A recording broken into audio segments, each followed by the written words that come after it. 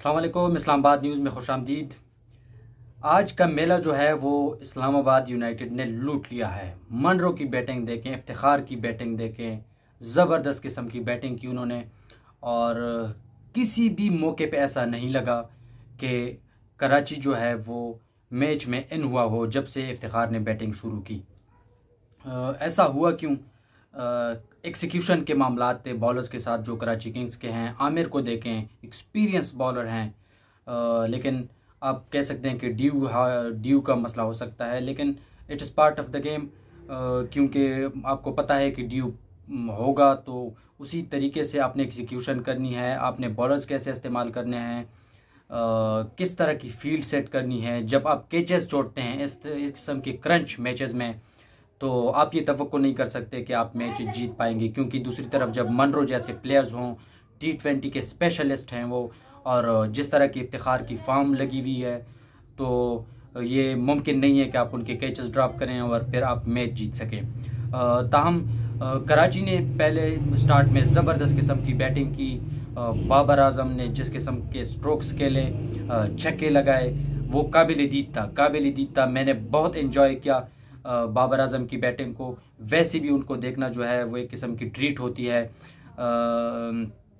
किस किस्म के वो स्ट्रोक मेकर हैं। आ, मैं तो सोचा था कि 200 क्रॉस कर जाएँगे लेकिन न हो सका।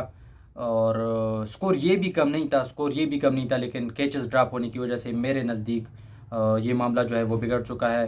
ताहम दाद देनी पड़ेगी इस्लामाबाद यूनाइटेड की टीम को कि वो घबराए नहीं एक लंबे स्कोर के एक बड़े स्कोर के सामने वो घबराए नहीं, उन्होंने कुल की बैटिंग की और जिस किस्म के स्ट्रोक्स स्ट्रोक्स लगा रहे थे मनरो और इफ्तार आपको ऐसा लग रहा था कि ग्राउंड में कोई फील्डर ही नहीं है। लेकिन बॉलिंग जो कल हुई है कराची के, अगर आप एक सौ इक्यानवे को नहीं कर सकते एक सौ इक्यानवे स्कोर आपका हुआ हुआ है और उसको आप नहीं बचा सकते तो ये बहुत मसला है आपके लिए इफ्तार आमिर के होते हुए। वसीम अकरम इनके पास हैं, कराची किंग्स के साथ।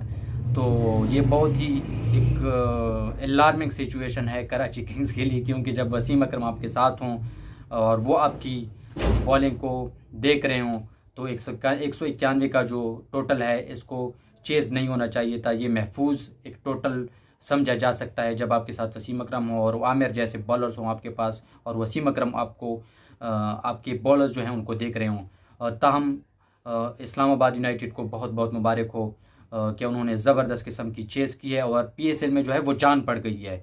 पीएसएल का मज़ा जो है वो दुबाला हो गया है और बहुत ही कांटे के मैचेस जो हैं, अभी वो शुरू हो गए हैं। लेकिन कुछ लोग सोशल मीडिया पे अभी पोस्ट्स वगैरह कर रहे हैं ट्वीट्स वगैरह कर रहे हैं कि इफ्तार अहमद को भी टीम में होना चाहिए। भाई, ऐसे नहीं हो सकता।